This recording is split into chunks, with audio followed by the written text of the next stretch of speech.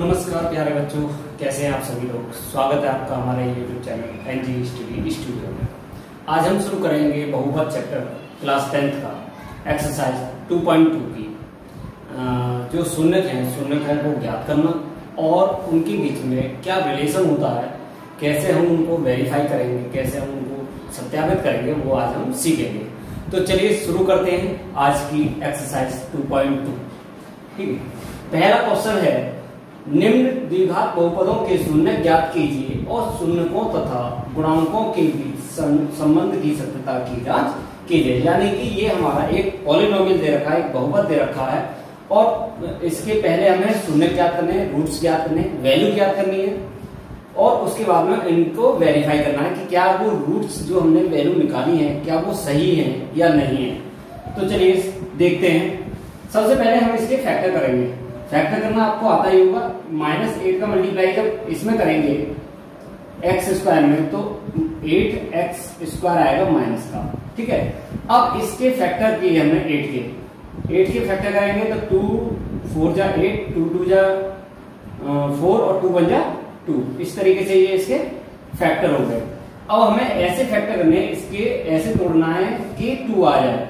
तो two two जा four ये फोर आ गया और ये टू बचा तो फोर में से टू माइनस किया तो टू आ गया। तो इस तरीके से, यानी x square minus four minus two x minus eight यानी एट के ऐसे फैक्टर किए कि टू आ जाए। मल्टीप्लाई करें तो एट आ जाए और अगर माइनस करें तो टू आ जाए। ठीक है? ये आ गया। तो ये आ गया x square minus four x minus plus minus हो जाएगा। माइनस माइनस प्लस हो जाएगा तो टू एक्स एक्स का मल्टीप्लाई तो दोनों में होना ही होना है माइनस एट ठीक है? अब यहाँ से इन दोनों में कॉमन लेना है। तो देखिए एक्स स्क्वायर और माइनस फोर एक्स में आपको नज़र आ रहा होगा कि एक्स कॉमन है इन दोनों में।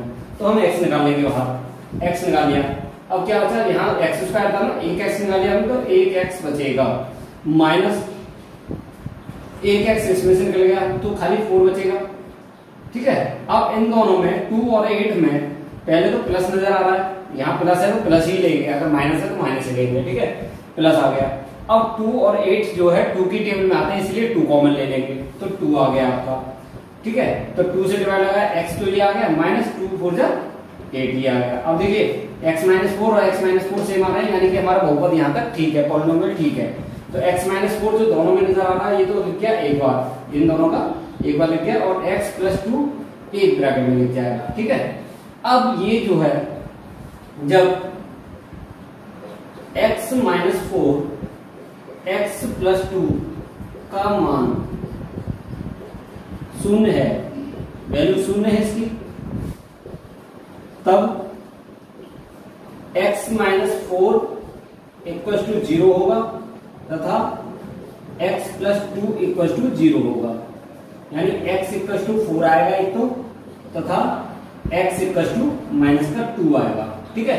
यानी कि ये जो दो वैल्यू आ गई, इसका नाम दे रखे, एक का नाम तो दे देते हैं एल्फा है ना? एल्फा इक्वल टू फोर और इसका नाम रख देते हैं बीटा ठीक है? आपकी ये मर्ज़ी है कि आप किसको एल्फा मानते हैं, किसको बीटा मानते हैं। आप चाहे तो इसको बीटा मान लो, इसको एल्फा मान लो।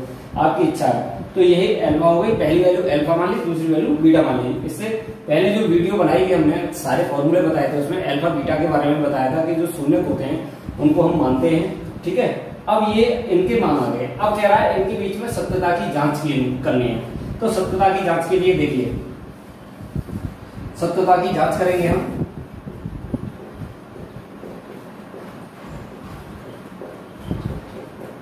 सत्यता की जाँच के लिए हमें क्या करना पड़ेगा? सबसे पहले मूलों का योगफल लेना पड़ेगा। मूलों का पहले समीकरण लिख लेते हैं हम। X square minus two x minus eight ठीक है? इक्वल टू ज़ीरो ले लेते हैं। तो यहाँ पे जो ए है, वो एक है, यानी ये, ठीक है? और बी जो है, वो माइनस का दो है, ये वाला, ठीक है?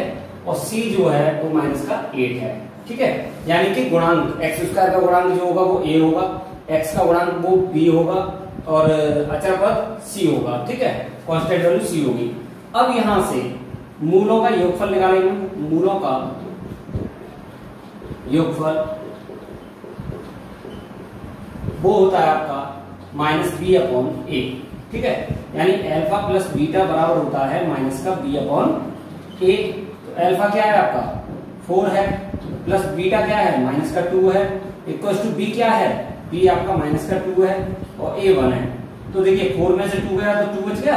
इक्वल टू जो है, और ये माइनस माइनस माइनस प्लस हो जाएगा तो ये आ गया टू तो ये वेरीफाई हो गया। अब करते हैं मूलों का गुणनफल। मूलों का गुणनफल।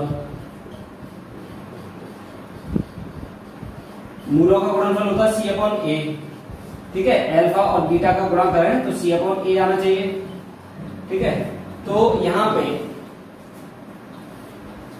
एल्फा कितना है? फोर है मल्टीप्लाई बीटा कितना माइनस का टू इक्वल टू सी क्या है? सी है आपका माइनस का एट अपॉन ए है वन तो फोर टू जा एट माइनस का एट इक्वल टू माइनस का एट तो ये वेरीफाई हो गया। वेरीफाई यानी कि हमारे जो मान निकल के आए जो हमारे रूट्स निकल के आए वो सही हैं।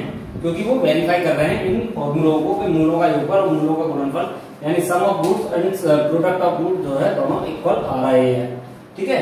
सम ऑफ़ रूट्स अगर निकालते हैं तो बी अपॉन ए के इक्वल आ रहा है। अगर प्रोडक्ट ऑफ़ रूट्स निकालते हैं तो सी अपॉन ए के इक्वल आ रहा है। ठीक है? तो आप इस तरीके से आगे के क्वेश्चन भी कर सकते हैं। ठीक है? आज के लिए इतना ही। मिलते हैं अपनी नेक्स्ट वीडियो में। अगर वीडियो पसंद आई हो तो लाइक करें सब्सक्राइब करें और हमारे चैनल पे बने रहें। आज के लिए इतना ही। मिलते हैं अपनी नेक्स्ट वीडियो में। तब तक के लिए धन्यवाद।